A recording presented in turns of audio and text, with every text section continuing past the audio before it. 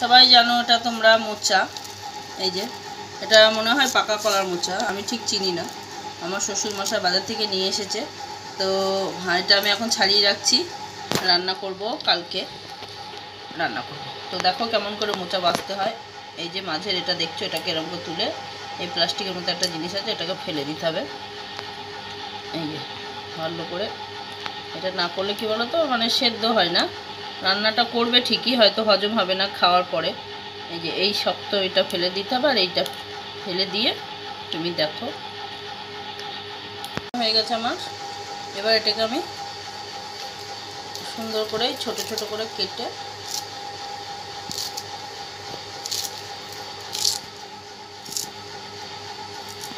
এই যে এরকম সাইজের কেটে, কেউ একদম মিহি খেতে চাইলে আরও সরু করে কাটবে, কিন্তু আমি একদম মিহি করি না। এরকম করে কেটে, এই এরকম করে বাকিটা পুরোটা কেটে আমি ভিজিয়ে রাখব। মোচা আমার কাটা হয়ে গেছে, এই আমি এখন ভিজিয়ে রাখলাম, নুন দিয়ে, জল দিয়ে, সারা রাত এটা ভিজবে, কালকে রান্না করব। কালকে তাহলে দেখা হচ্ছে আবার রান্নাটা নিয়ে। Hello friends, welcome to my YouTube channel kitchen queen. Kitchen কুইনে তোমাদের স্বাগতম। আমি প্রতিভা চলে এসেছি আজ একটা নতুন রেসিপি নিয়ে। তো চলো দেখি কি সেটা। হ্যাঁ ঠিক দেখেছ, বুঝতেই পারছ এটা মোচা। তো আজকে আমি মোচা ঘন্ট রান্না করব। আর এর জন্য আলু, ডুমো ডুমো করে আলু মোচা কেটে রাতে ভিজিয়ে রেখেছি জলে। আর মশলা বলতে এতে লাগছে ফোড়নের জন্য শুকনো লঙ্কা, জিরে, রান্নাতে অবশ্যই লবণ, হলুদ, মিষ্টির জন্য চিনি লাগবে একটু। আর এখানে আছে আদা বাটা। জিরে গুঁড়ো, কাঁচা লঙ্কা চেরা, গরম মশলা। আর যেহেতু এটা নিরামিষ পদ, নিরামিষ করে রান্না করব, তো ওর জন্য আমি কিছুটা কাঁচা বাদাম নিয়েছি, এটা ভেজে, ভেঙে গুঁড়িয়ে রাখব। তো চলো রান্নাটা শুরু করি। মোচা আর আলু প্রেশার কুকারে দিয়ে দিয়েছি। এবার আমি জাস্ট একটা হুইসেল মেরে নেব। তেল গরম হয়ে গেছে, তো আমি বাদামটা ভেজে নিচ্ছি।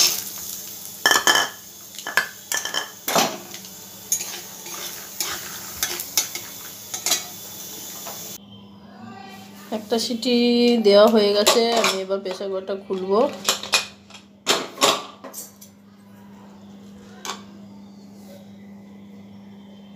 মোটা সেদ্ধ হয়ে গেছে, এবার আমি জলটা ঝরিয়ে নেব।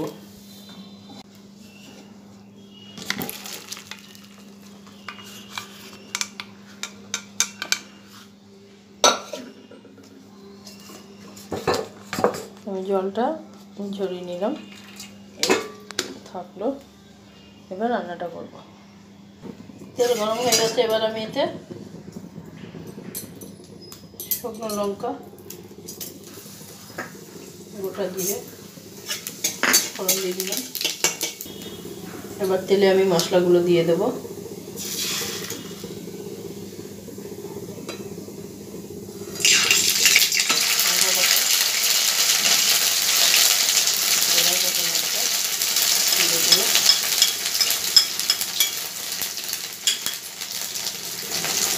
লবণ হলুদ নাড়াচাড়া করে আমি জিরে মশলাটা ভাজিয়ে রেখেছি দিয়ে দিলাম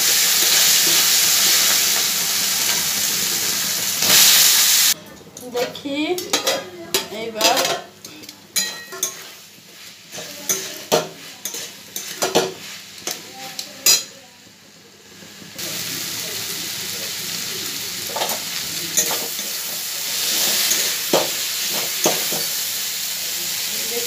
প্রায় মোচাটি রেডি। মোচার ঘন্ট প্রায় আমাদের রেডি এবার আমি একটু মিষ্টি দিয়ে দেবো। নিরামিষ রান্না সবসময় মিষ্টি মিষ্টি ভালো লাগে। আর মোচা শরীরের পক্ষে খুব ভালো, এতে প্রচুর পরিমাণে আয়রন থাকে। মোচা, তোর শরীরের খুব ভালো উপকারী খাওয়া। তো আমরা এই খাটনির ভয়ে হয়তো খাওয়ানো আগের দিন রেডি করে রাখার জন্য আমরা হয়তো চট করে এই রেসিপিটা বাড়িতে বানাই না। তো আমার শ্বশুরমশাই খুব ভালোবাসেন।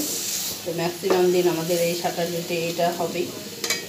তো আজকে আমরা লাঞ্চে মেনু আছে, কলাইয়ের ডাল আর এই তোমার মোচা ঘন্ট। আর আমার শ্বশুরমশাই শনিবারে দই আনে যেহেতু, আমার মেয়েরা নিরামিষ একদম খেতে পারে না। সব বাচ্চাই তাই। তো ওর সঙ্গে থাকবে দই আর তোমার ফুলুরি, যেটা বেসনের ছোটো ছোটো করে বড়া করে ফুলুরি বলে, সেটা করব। দিয়ে আমাদের এই লাঞ্চ হয়ে যাবে আর একটু টক আছে। টকটা বার করে আমার শ্বশুরমশাকে দিয়ে দেবো। আমাদের মোটামুটি মোচার ঘন্ট। শ্বশুর মশাইয়ের অনেক বয়স হয়েছে, প্রায় সত্তরের কাছাকাছি। তো দাঁত সেরমভাবে নেই, তো বাবাকে বাদাম দেওয়ার আগে তুলে রাখব বাবার জন্য একটু। বাদাম দিলে শক্ত লাগে তো, খেতে পারে না, বয়স্ক মানুষ যেহেতু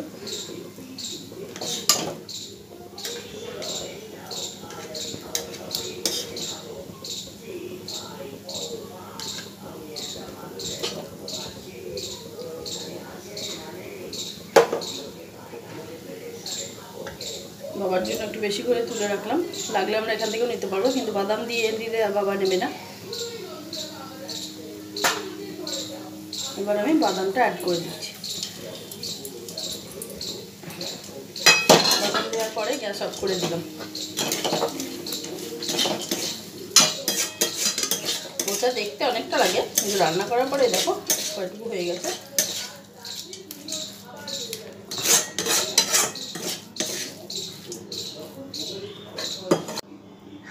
রেডি আমার মোচার ঘন্ট তো কেমন লাগল বন্ধুরা, এটা অবশ্যই আমাকে জানাবে। মোচা তোমাদের খেতে কেমন লাগে? কে কে বানাও? পাকা কলার মোচা ভালো না কাঁচা কলার মোচা ভালো একটু যদি আমাকে জানাও, তো খুব সুবিধে হয়। তো রান্নাটা কেমন লাগল? খুব সাধারণ রান্না, খেতে খুব ভালো লাগে, নিরামিষ রান্না। তো বাই আজকে ভিডিও আমার এই পর্যন্তই। আবার পরের ভিডিও নিয়ে দেখা হচ্ছে। তো অবশ্যই আমার চ্যানেলটিকে তোমরা সাবস্ক্রাইব করো, আমি নতুন এই চ্যানেলে। তো লাইক করতে ভুলো না কমেন্ট করতে ভুলো না শেয়ারও করো প্লাস সাবস্ক্রাইব তো টাটা বন্ধুরা, আজ এই পর্যন্ত